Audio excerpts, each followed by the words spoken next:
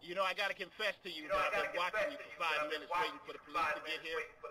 So you go ahead and hang around a few So more minutes for me, all right? They're gonna be waiting for you at the gate when you're ready to leave out.